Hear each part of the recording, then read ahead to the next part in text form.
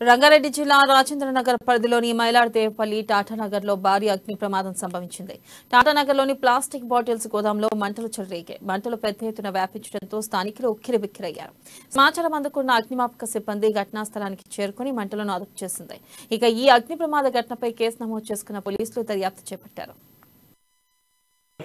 twenty three है मैं यहाँ ही जन्म लिया जो गोदाम अभी जला है इसके पास में ही आपका घर या जी यहाँ से मिनिमम थ्री हंड्रेड मीटर है बस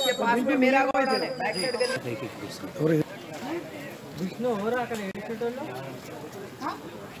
ఏడున్నాను పోయిరా పిల్లాడు और एडुस्तर అవును అసలు ఏడుస్తున్నారు